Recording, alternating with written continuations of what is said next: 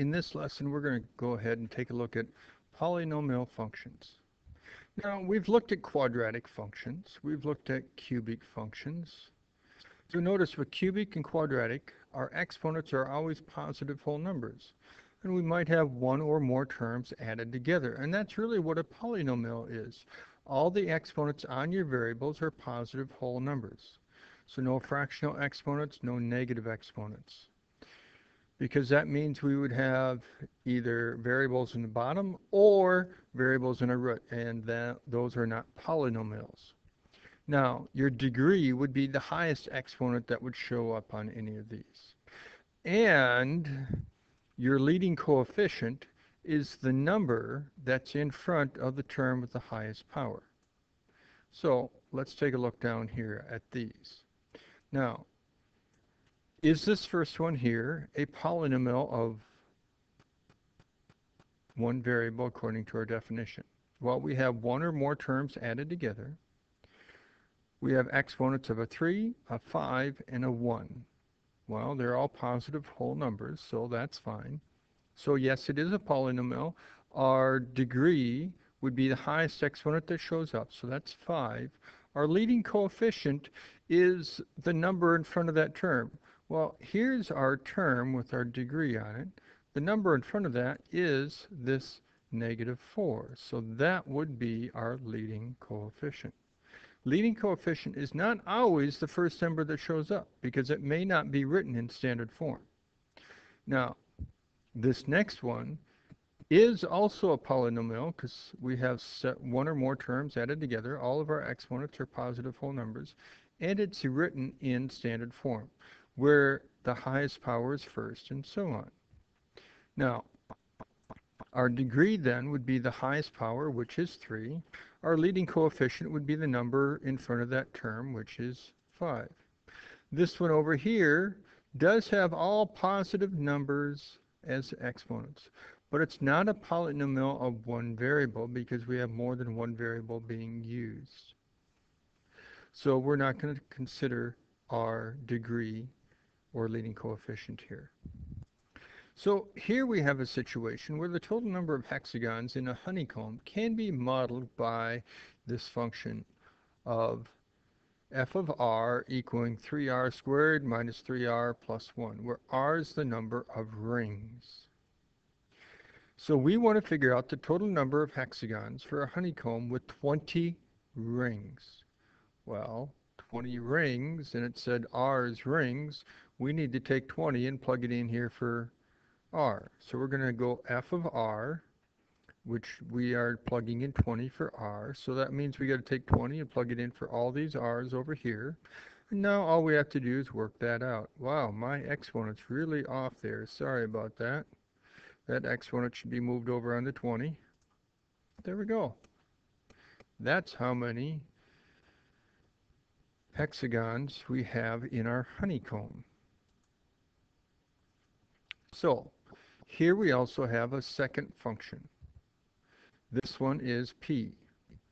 p is the name of our function. Remember, x is your input, and this is the rule. In this case, we got to take whatever we put in for x, raise it to the fourth power, and then double it, minus our input cubed, plus 3 times our input. Well, here we have function p, and we want to figure out what we get when we plug in 1. So we're going to go up here and plug in 1 for all of our x's. So if we do that, we get this here, then we work that out, and we end up getting 4. Here we need to go ahead and go to our function p and plug in 2. So plug in 2 here, plug in 2 here, plug in 2 here, and then all we have to do is just work that out, either in our head or with our calculator. Here, this says we need to go to function p and plug in triangle. So I got to put a triangle here, put a triangle here and a triangle here. So basically, whatever's in the parentheses after my p, that's what I have to plug in for all my variables. So I get this. In this case here, I'm not able to go ahead and simplify anything because I don't have like terms.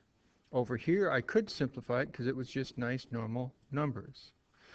Down here, I need to go to function p and plug in y for all my variables. So just like what I had over here. I'm going to have 2 times y to the fourth minus y cubed plus 3 times y because y is my input. Down here, it says I need to go to function p and I need to replace all my inputs with an a cubed. So I'm going to put a cubed for each one of these inputs here. Well, when I do that, I get this. In this case, I could simplify a little bit because I have an exponent raised to an exponent an exponent raised to an exponent. So re remembering your exponents rules, you have to go ahead and multiply your exponents. And we would get this. This would be our answer. We have no like terms, so we can't combine anything together. And we're not actually going to pull anything out. We're going to just leave it like this. We're going to just have our answer simplified. And remember, simplify means combining all like terms and no parentheses. Now, we want to look at end behavior. End behavior is what happens to your function as you go far to the right or far to the left. So that means, uh, is your function as you go far to the right going up or going down? Well, if it's going up forever, it'd be going towards positive infinity. Or if you were going to the right and it was going down forever, well, that would be negative infinity, and we would write it like this. Now, we need to take a look at these functions and decide what happens as you go far to the right and far to the left, if it goes up or goes down. And we're going to look at our degree. Now, your degree kind of tells you your basic shape. If your degree is even and your leading coefficient's positive, on the far left it's going to be going up, on the far right it's going to be going up. It could be just like a basic parabola if it was a quadratic function, or it could still have the same end shape as a parabola, but in the middle be doing a couple of jogs like this. Now how many jogs it does up and down depends on your degree. Typically, a higher power degree is going to have a few more jogs in the middle.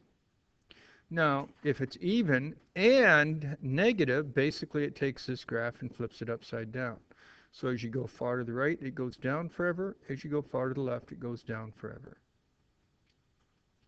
If it's an odd degree, and we were, we've looked at some cubics before, but we're going to continue to look at cubics. Now, an odd degree, this would be a cubic function here. As you go far to the right, it's going to go up. As you go far to the left, it's going to go down. If it's an odd degree and it's a negative, it's basically going to take this graph and flip it upside down.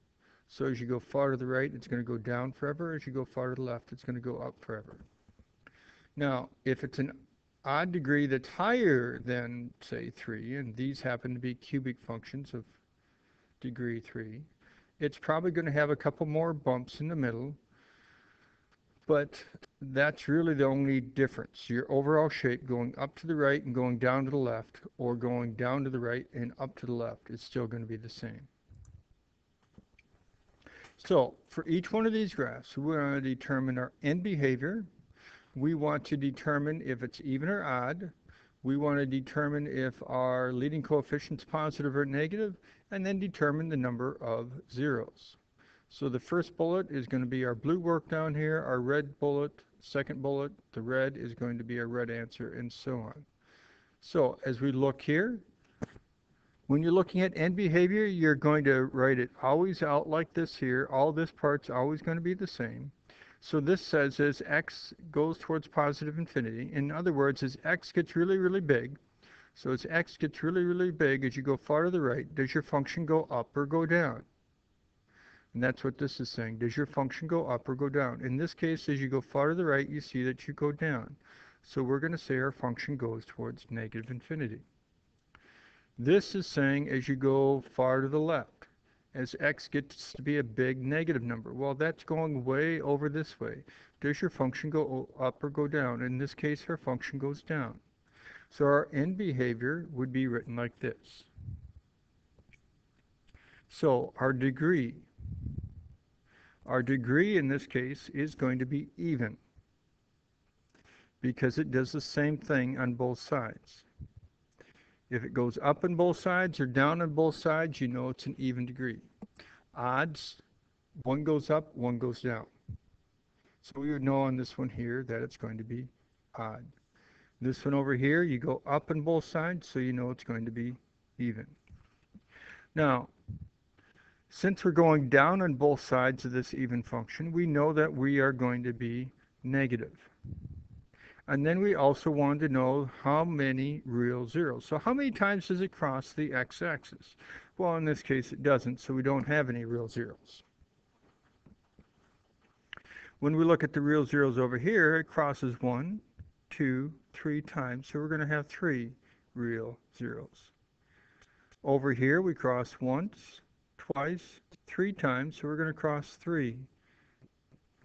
We're going to have three real zeros. So looking at our end behavior, this means as you go far to the right, does your function go up or go down? In this case, as you go far to the right, we go up, so it's going to approach positive infinity. This means as you go far to the left, does your function go up or go down? As you go far to the left, we go down, so it's going to be negative infinity. Now, that matches with what we had over here, with this right here, letting us know that we're going to have a positive leading coefficient. So we have a positive leading coefficient. So try to finish this one here on your own. So as you go far to the right, our function goes up. As you go far to the left, our function goes down. And since we're going up on both sides, it's a positive.